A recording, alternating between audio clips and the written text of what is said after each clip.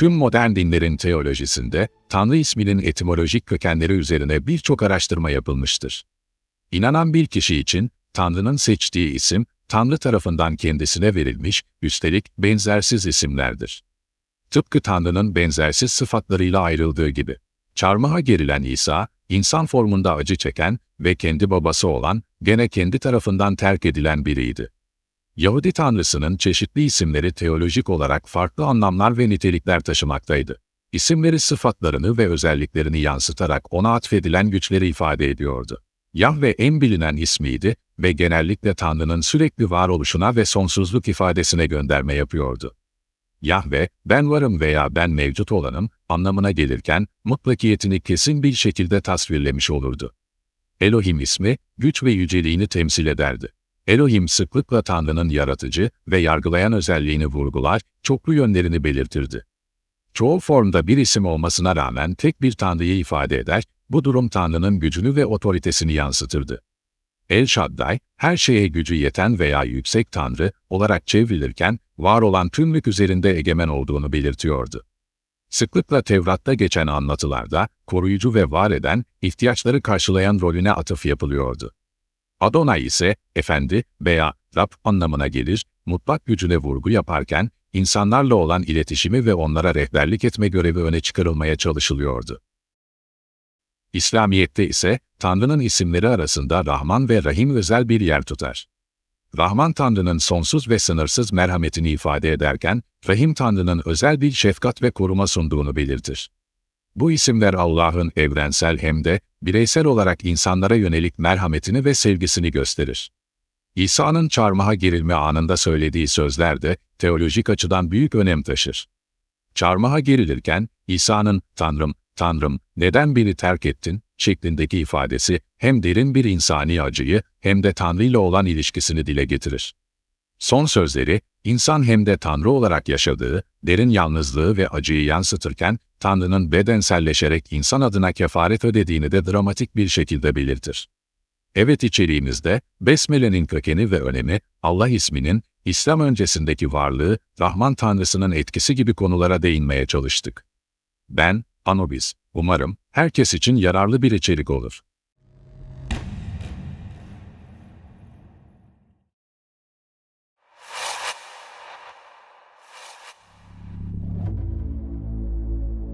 Kur'an'da her surenin başında Bismillahirrahmanirrahim ifadesi yer alır. Ancak bu genel uygulamanın iki istisnası vardır. Tevbe suresi, Kur'an'da besmele ile başlamayan tek suredir. Bu durum, İslam dünyasında dikkat çekici bir özellik olarak görülür. Tevbe suresinin başlangıcı, müminlerden ahdini bozmuş olanlara ve müşriklere Allah ve Resulü tarafından bir uyarıdır. Ayetiyle başlar. Burada besmelenin yer almaması, suredeki sert ve ciddi üsluba dikkat çeker. Tevbe suresi, savaş ve barış hükümlerinin yer aldığı, bağışlama ve merhametten çok, uyarı ve hesaplaşma temalarını içeren bir metindir. Namle, Nem'il veya Karınca ismiyle bilinen 27. surede ise Besmele farklı bir konumda bulunur.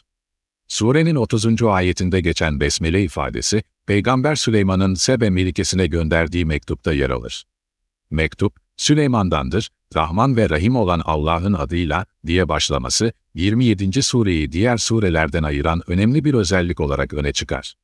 Anlatı Peygamber Süleyman'ın hikayesi ve Sebe Melikesi ile olan iletişimi etrafında şekillenir ve bu besmele, Kur'an'ın ortasında yer alan tek besmele olarak bilinir. Tevbe ve 27. surenin ortasındaki besmele ile ilgili çeşitli yorumlar ve açıklamalar gene İslam bilginleri tarafından yapılmıştır. Oluşan istisnaların arkasındaki nedenleri anlamak için hem tarihsel hem de teolojik bağlamlar dikkate alınır. En yaygın açıklamalardan biri, Tevbe suresinin içeriğiyle ilgilidir. Anlatı müşriklere ve İslam düşmanlarına yönelik sert uyarılar, savaş hükümleri ve ultimatomlar içerir. Besmele ifadesi, Rahman ve Rahim olan Allah'ın adıyla şeklinde, genellikle merhamet, şefkat ve barışla ilişkilendirilir. Tevbe suresinin sert ve uyarıcı içeriğiyle merhametli başlangıç ifadesinin uygun olmayacağı düşünülür. 27. suredeki fazla besmelenin, Tevbe suresindeki eksik besmele sayısını tamamladığı şeklinde yorumlanır. Kur'an'da toplam 114 besmelenin yer alması gerektiği düşünülür ve Tevbe suresinde eksik olan besmele, 27. surenin 30. ayetinde yer alarak bu sayıyı tamamlar. Tüm bunlar, Kur'an'ın yapısındaki ilahi hikmeti ve derin anlamları göstermek için önemli birer örnek olarak kabul edilir. Tevbe suresinde besmelenin bulunmaması, Allah'ın adaletini ve gücünü vurgularken, 27. surenin ortasındaki besmele, surelerin toplam sayısını dengeleyerek ilahi düzenin ve mükemmelliğin bir tezahürü olarak görülür. İslam düşünürlerine göre, bu olaylar Kur'an'ın mucizevi yapısını, matematiksel düzenini ve içerdiği mesajların bütünlüğünü vurgular.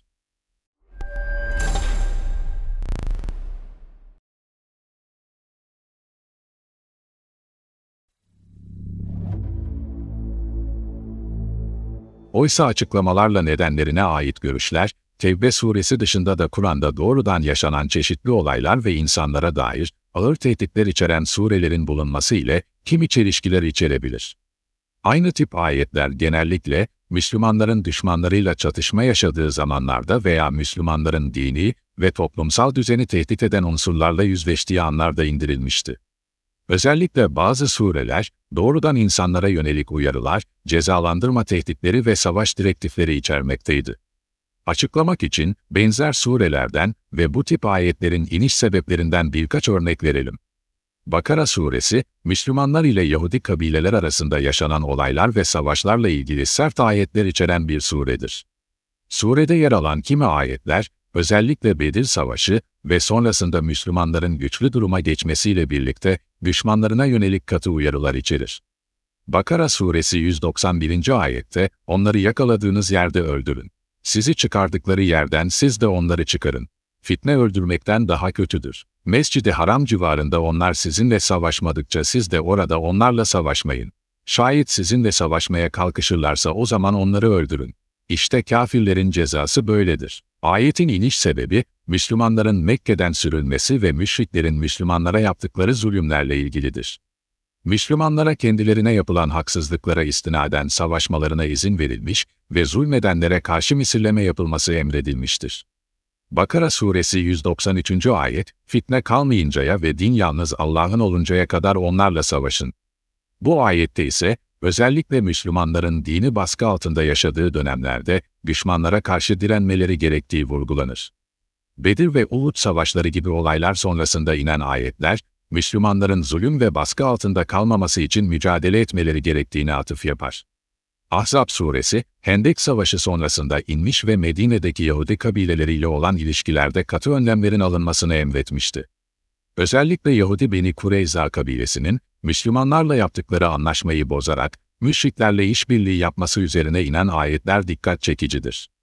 Ahzab suresi 26 ve 27. ayet, hem de Allah kitap ehlinden kafirlerle yardımlaşanları kalelerinden indirdi. Ve kalplerine korku saldı. Siz onların bir kısmını katlediyordunuz, bir kısmını da esir alıyordunuz. Ve Allah onların arazilerine, yurtlarına, mallarına ve henüz ayak basmadığınız bir yere sizi son sahip yaptı. Ve Allah her şeye en iyi güç yetirendir. Ayetler, Beni Kureyza kabilesinin ihaneti sonrasında inmiştir. Hendek Savaşı'nda Mekke müşrikleri Medine'ye saldırdığında, Beni Kureyza Yahudileri, Müslümanlarla olan antlaşmalarını bozmuş ve düşmanlarla işbirliği yapmışlardı. Savaş sonrası, kabile ihanetinin bedelini ödemiş ve esir alınarak ergenlik çağına girmiş olanlar da dahil olmak üzere tüm erkeklerin kellesi vurulmuş, kadınları ve kızları cariye edilmiş, bütün mallarına ise el konulmuştur. Ayet, yaşanan olayın doğrudan bir yansımasını tasvirlemektedir. Enfal suresi, Bedir Savaşı'nın hemen ardından inmiştir ve savaş hukuku ile ilgili detaylar sunar. Savaş ganimetlerinin dağıtılması ve esirlerin durumu ile ilgili olarak da ağır hükümlerin yer aldığı surede, özellikle düşmanla yüzleşme anlarındaki tavır ve stratejilere dair ayetler bulunur. Enfal suresi 12. ayet, Rabbin bir taraftan da meleklere şunları vahyediyordu. Ben elbette sizinle beraberim. Siz de müminlerin sarsılmamalarını sağlayın. Ben kafirlerin yüreğine korku salacağım, siz de onların boyunlarının üzerine vurun. Onların yay ve kılıç tutan bütün parmak uçlarını doğrayın. Söz konusu ayet, Bedir Savaşı'nda Müslümanların sayıca az olduğu, ancak Allah'ın yardımıyla zafere ulaştıkları bir olaya işaret eder. Savaş sırasında Müslümanların güçlü olmaları ve düşmanlarına karşı tavizsiz bir duruş sergilemeleri gerektiğini vurgularken, melekleri parmak kesen, boyun vuran varlıklar olarak betimler. Muhammed Suresi de doğrudan savaş ve cezalandırma ile ilgili tehdit dolu ayetler içeren bir suredir. Surede özellikle inkar edenlerle yapılacak mücadele ve savaşın nasıl olacağına dair emirler verilmiştir. Muhammed Suresi 4. ayet, inkar edenlerle savaşta karşılaştığınızda hemen boyunlarını vurunuz. Onları yendiğinizde de sıkıca bağlayınız. Savaş sona erdiğinde ya bir lütuf olarak karşılıksız ya da fidye alarak salıveriniz. Allah dileseydi onlara galip gelirdi. Fakat kiminizi kiminizle denemek için böyle yaptı. Allah yolunda öldürülenlerin yaptıkları hiçbir ameli asla boşa çıkarmayacaktır. Bu ayet, Müslümanların savaş sırasında düşmanlarına karşı kararlı bir şekilde savaşmaları gerektiğini belirtir. Bedir ve Uhud savaşları gibi kritik çatışmaların ardından inen ilgili ayetler, savaşta kararlı olmanın ve düşmanı tamamen etkisiz hale getirmenin önemini vurgular. Maide suresi Müslümanlarla Yahudiler ve Hristiyanlar arasındaki ilişkileri düzenleyen hükümler içeren bir suredir. Ancak, içindeki kimi ayetler Yahudi kabilelerinin ihanetlerine karşı verilen bazı uyarıları da içerir. Maide suresi 33. ayet, Allah ve Resulüne karşı savaş açanların ve silahlı eylemlerle yeryüzünde fitne fesat çıkarmaya çalışanların cezası, ya öldürülmek veya asılmak yahut el ve ayaklarının çapraz kesilmesi ya da bulundukları yerden sürgün edilmektir. Dünyada onların cezası böyle bir rezilliktir. Ahirette de onlar için pek büyük bir azap vardır. Bu ayet, Müslümanlara karşı ihanet eden ve fitne çıkaran Yahudi kabilelerine karşı bir uyarı olarak inmişti. Kabilelerin Medine'deki düzeni bozma girişimlerine karşı böylesine tedbirler öngörülmüştü. Tevbe suresi haricinde, görüldüğü gibi başka surelerde de oldukça sert ve ağır ayetler bulunur. Bu ayetlerin büyük çoğunluğu, yaşanan savaşlar, ihanetler ve Müslümanların savunma zorunluluğu bağlamında indirilmişti.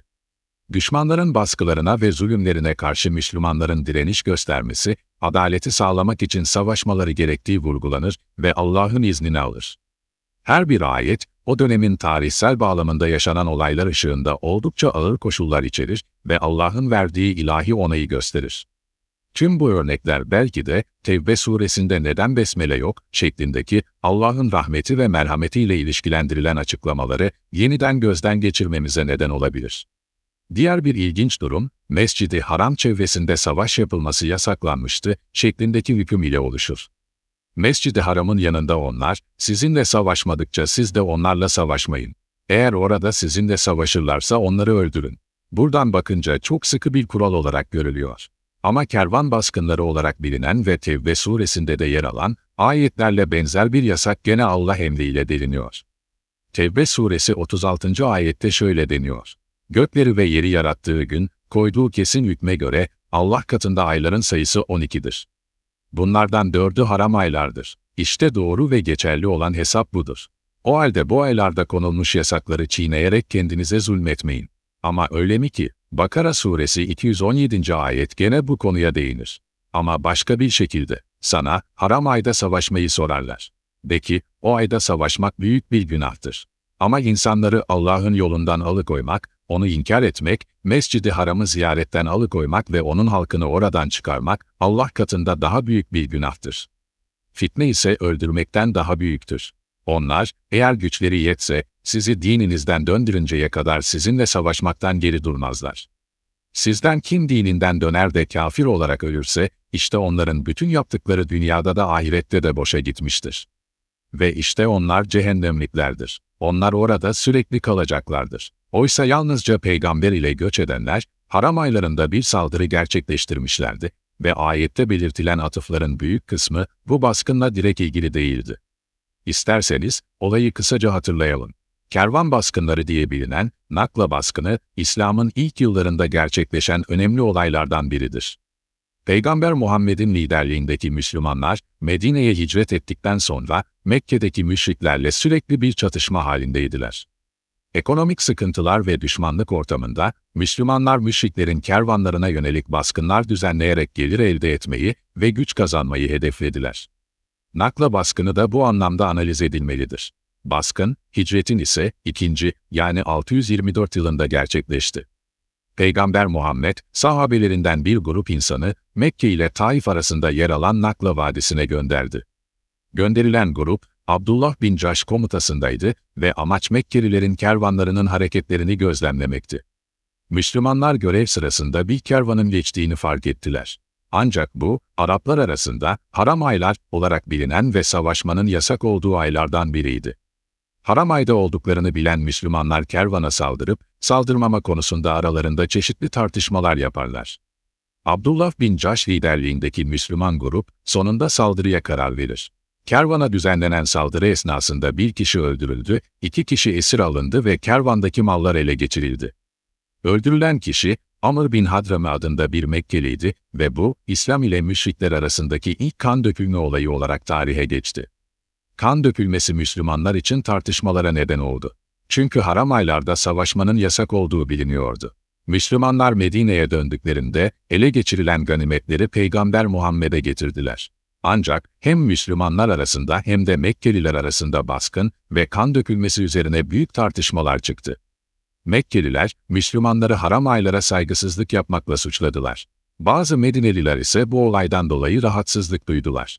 Çünkü haram aylarda savaşmak ve kan dökmek, Arapların köklü geleneklerine aykırıydı. Buna istinaden, Bakara suresi 217. ayet indirildi ve haram aylarda savaşmanın büyük bir günah olduğu kabul edildi. Ancak inen ayet, aynı zamanda Müslümanlara yapılan baskı, zulüm ve işkencelerin daha büyük bir günah olduğunu belirterek, Müslümanların kendilerini savunmaları gerektiğini de ima etti. Aslında bir baskın vardı ama bir savunma yoktu. Belki de bir not daha eklemek gerekiyor. O da şu, haram aylar uygulaması, İslam'dan önceki Arap toplumunda da mevcut olan eski bir gelenektir. İslam öncesi Araplar arasında haram aylar bir diğer ismiyle El-Eşhurul Hürüm olarak bilinen dört kutsal ay, savaşın yasak olduğu bir dönemdi. Bu gelenek, ticaret, seyahat ve haç gibi barışçıl faaliyetlerin güvenli bir şekilde gerçekleşmesini sağlamak amacıyla oluşturulmuştu. Cahiliye döneminde Araplar dört haram ayı kutsal kabul ederlerdi. Bu aylar şunlardı, Zilkade, Zilhicce, Muharrem ve Recep. Söz konusu aylarda savaşmak yasaklanmıştı. Kan davaları gibi düşmanlıklar da durdurulurdu. İnsanlar haram aylarda ticaret yapabilir, seyahat edebilir ve haç gibi dini görevlerini güvenle yerine getirebilirlerdi. Bu gelenek, Arap Yarımadası'nda kabileler içinde süregelen savaşların duraklatılması için önemliydi. Kabileler arası savaşlar ve çatışmalar, haram aylar boyunca askıya alınırdı ve bu da toplumsal istikrar için önemli bir katkı sağlardı. Bir diğer not ise, İslam öncesi dönemde Mekke'nin ileri gelenleri, Kabe ve çevresindeki dini ve ticari faaliyetlerin yönetiminde önemli görevler üstlenmişti. Bu kişiler arasında Ebu Cehil diye bilinen, Amr bin Hişam gibi Kureyş kabilesinin önde gelen üyeleri de bulunuyordu. Kureyş kabilesi, Kabe'nin korunması, haç ritüellerinin düzenlenmesi, haram aylara saygının gözetilmesi gibi konularda sorumluluk üstlenir ve uyulması konusunda kontroller yaparlardı. Nakla baskını, Müslümanlar açısından ilk kan dökülen saldırı olduğu için, İslam tarihinde önemli olaylardan biri olarak kabul edilir. Mekkeliler, bu baskından sonra Müslümanlara karşı düşmanlıklarını daha da artırdı. Diğer taraftan yaşananlar, İslam'ın yayılma sürecindeki stratejik adımlardan biri olarak da görülür.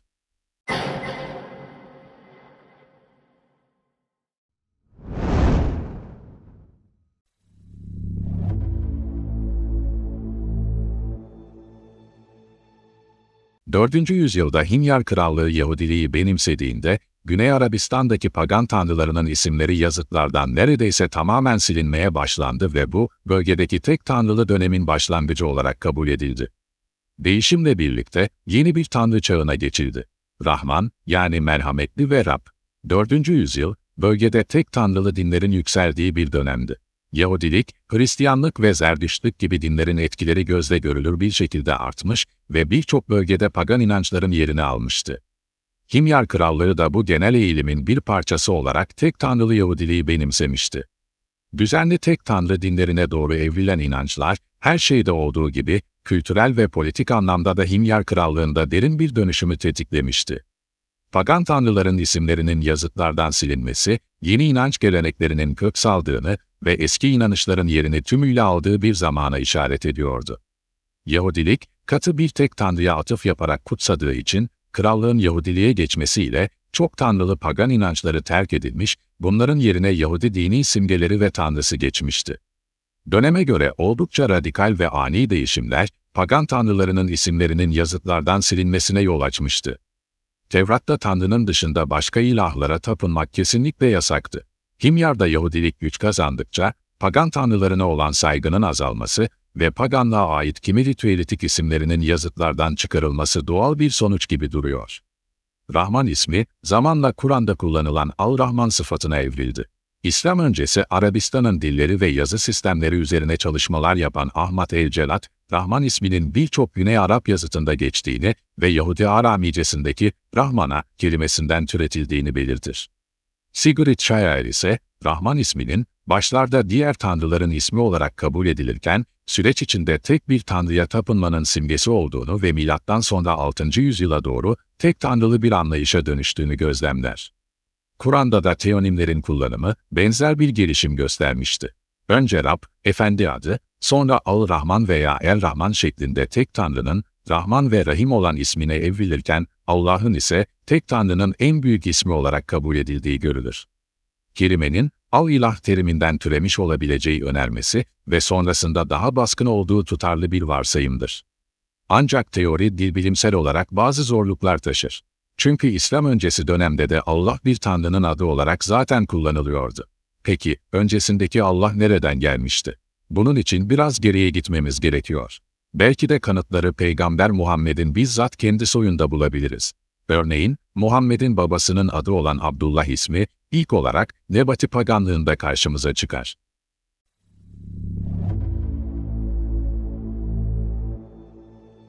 İslam öncesi Arap toplumlarında tanrı ve tanrıçalar, geniş bir panteonun parçası olarak günlük yaşamın her alanına derinlemesine nüfuz ediyordu.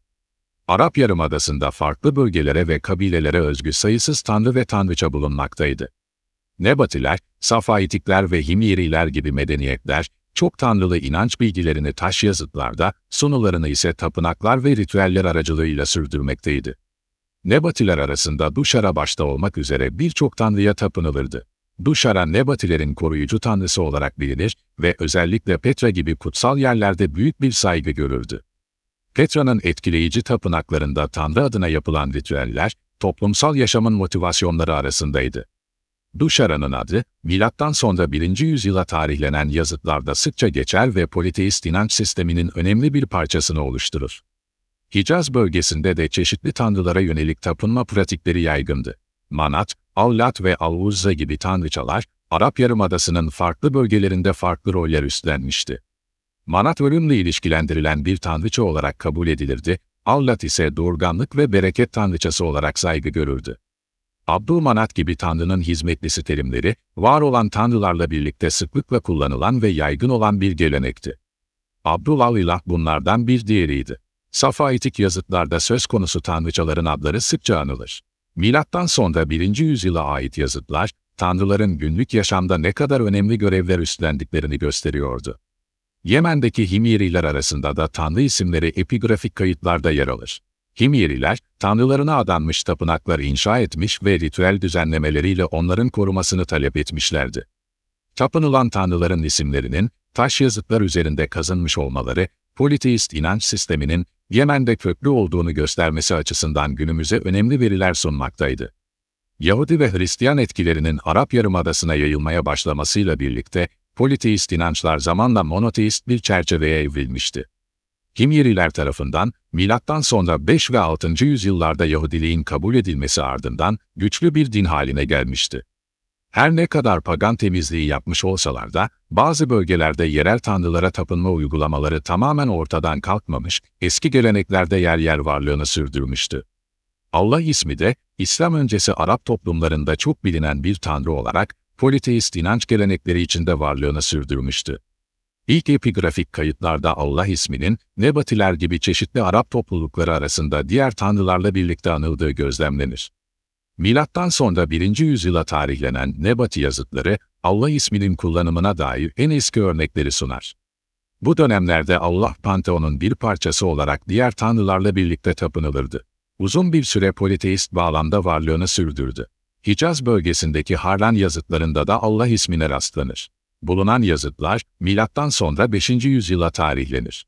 Buluntular Allah isminin dini hayata yerleşik olarak girdiğini ve diğer tanrılarla eşdeğer bir konumda tapınıldığını kanıtlıyordu. 2018 yılında Yemen'deki bir uçurumun kenarında İslam öncesine ait bilinen ilk besmele yazıtı keşfedildi. Güney Arap alfabesiyle yazılan bu yazıtta Allah'ın adıyla Rahman, göklerin efendisi Rahman ifadeleri yer alıyordu. Yazıtın geri kalan kısmında ise lütfunla bizi memnun et ve bize günlerimizi sayma bilgeliğini ver gibi dualar bulunuyordu. Yazıt, Allah isminin İslam öncesi dönemde Yahudi ve Hristiyan tanrıları ile ilişkilendirilmeye başlandığını ve monoteist inanca doğru yönelen bir evrimi işaret ediyordu. Ahmet el-Celad'ın çalışmaları da Kuzey Arabistan'daki tek tanrılı inançlarda, güneyden farklı olarak El-İlah ya da Allah adının anıldığını ortaya koymuştu. Kullanılan diğer isimler Hristiyan kaynaklarında yer alırken, Allah ismi daha nadir görünmekteydi. İki isim arasındaki farkın bölgesel mi yoksa teolojik mi olduğu hala tartışmalıdır.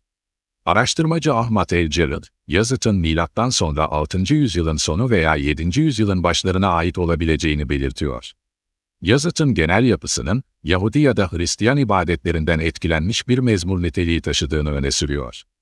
El-Cerrad, ikinci Rahman kelimesinin, bize merhamet et anlamına geldiğini belirtiyor. Ayrıca El-Rahman'ın başlangıçta Allah'a özgü Tanrı olduğunu ve İslami besmelede kullanılan bir tanımlayıcı olmadığını da ekliyor. Yemenli peygamber Maslamar'ın antik Himyer'in tanrısı El-Rahman'a taptığı biliniyor. El-Celid, Besmele'nin Arabistan'daki iki tek tanrılı kutbu birleştirdiğini, kuzeydeki Allah ile güneydeki El-Rahman'ı senkronize ettiğini ileri sürüyor. Bu senkronizasyonun, Himyerilerin 6. yüzyılda kuzeye yaptıkları seferlerle ortaya çıktığını da ekliyor. El-Raham, merhametli, sıfatının, İslam öncesi Besmele'nin El-Rahman'ına eklenen bir İslami yenilik olduğunu ve zamanla Allah'ı tanımlayan bir sıfat haline geldiğini de özellikle ifade ediyor. Kur'an'da İsra suresinin 110. ayeti de bölgesel farklılığı yansıtır. De ki, ister Allah adıyla dua edin, ister Rahman adıyla, hangi adla dua ederseniz edin, gerçekten de bütün güzel adlar O'nundur. Şeklindeki bu ayet, iki ismin, tek Tanrı'nın sıfatları olarak kabul edilmesi sürecinin bir parçasıydı. Bölüm sonunda şu notu da eklemiş olalım, kısa adı DASI, Dijital Archive for the Study of Pre-Islamic Arabian Inscriptions olan Güney Arap yazıtları gibi antik metinlerin araştırılması için önemli kütüphaneler arasındadır. DASI arşivi, şu anda 15 binden fazla Güney Arap yazıtı içermektedir ve bu konuda kullanılabilecek en kapsamlı kaynaklardan biridir. Orijinal yazıtları incelemek ve daha fazla bilgi almak adına arşivi ziyaret edebilirsiniz. Site linki açıklamalar kısmında yer almaktadır.